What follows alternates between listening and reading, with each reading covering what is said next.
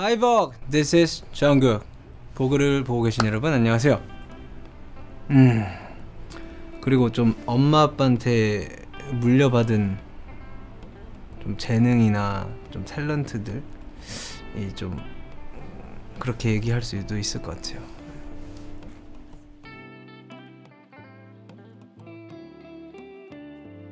이제 해외에 나와 있을 때 트레이닝 루틴이 있습니까?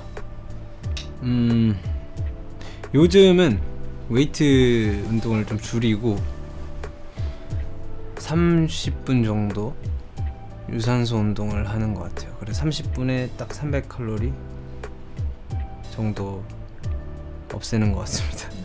네, 그리고 아침 밤에 일과는 아침도 일어나자마자 휴대폰 보고 밤도 마찬가지로 휴대폰 보고 그렇습니다. 어. 일단 휴대폰. 또. 아, 휴대폰이랑 여권. 그리고 그냥 뭐 이제 그 켈빈 클라인 속옷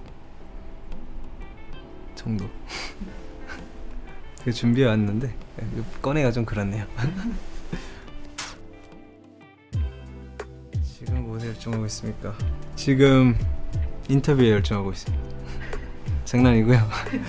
아, 아 마- 맞는 말인데 인터뷰도 열심히 하고 있고 지금 이제 다음 앨범이 나오니까 이제 그거를 위해서 열심히 또 연습하고 준비하고 있죠.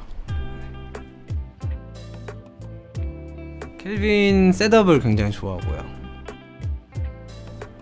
그다음 청청도 좋아하고 그리고 켈빈 이외의 것들은 그냥 좀 편안한 거 좋아하는 것들 좀 크고 신발도 좀 큰 거 좋아하고 옷도 큰 거 좋아하고 그리고 비니 쓰는 거 좋아하고요.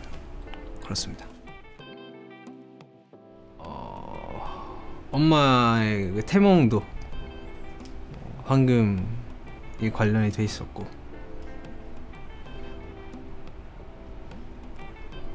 그리고 지금 좀 가장 빛나고 있는 시기인 것 같아요. 골든이 또 막 황금의 그런 것도 있지만 좀 빛나는 그런 의미도 있더라고요. 그래서 지금 좀 가장 빛나고 있지 않나라는 생각도 들면서 음 그리고 좀 엄마 아빠한테 물려받은 좀 재능이나 좀 탤런트들 이 좀 그렇게 얘기할 수도 있을 것 같아요.